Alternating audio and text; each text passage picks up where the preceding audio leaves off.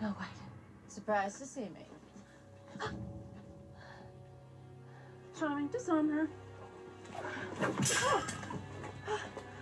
I have waited so long for this moment. Your head is going to look lovely in my trophy room. Please, no. How many times do I have to say I'm sorry? Once more, from your grave. I didn't know what would happen to James. I was a child. I was only trying to help you. You broke a promise. Because of your poor, poor judgment. My true love is dead. Your Majesty, before you rip her heart out, perhaps you should ask her about the boy. So you do have a brain somewhere in that pretty head. Where's the boy?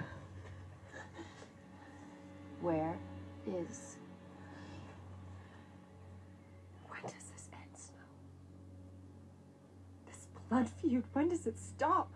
when I've killed you and every one of your followers? You lost one happy ending.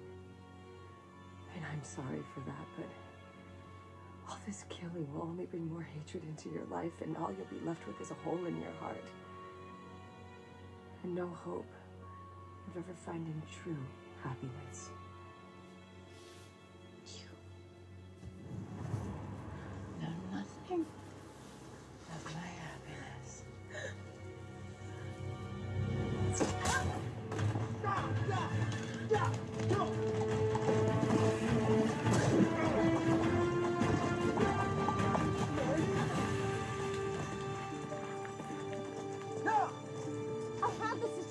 Under control.